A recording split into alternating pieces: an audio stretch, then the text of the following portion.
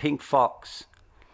Red, red lights on, they're racing. And they've jumped in another good to good start, sparring the first out from the Pink Fox, followed by uh, then came Persian Dancer, and racing up on the inside now. Magic Jack is showing good speed, so sparring led the field for Magic Jack followed then by the Pink Foxes on the outside of Persian Dancer, who's going forward. So racing up to the turn though with a good grip on it now, sparring the leader. The Pink Fox around the outside of Persian Dancer, and they're followed about two lengths to Magic Jack, who's hard against the rails.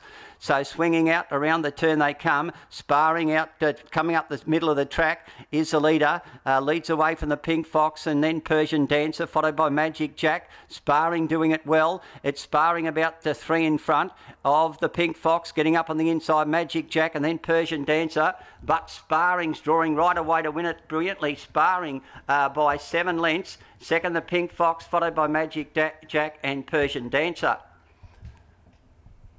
So we'll wait for details here.